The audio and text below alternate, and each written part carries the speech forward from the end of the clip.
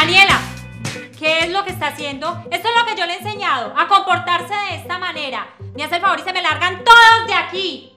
Ya, hermanita, no está pasando nada. Ya, mamá, me tiene mamá esta jodera suya. Déjeme en paz, porque mejor no se muere y así yo me quedo con mi tía.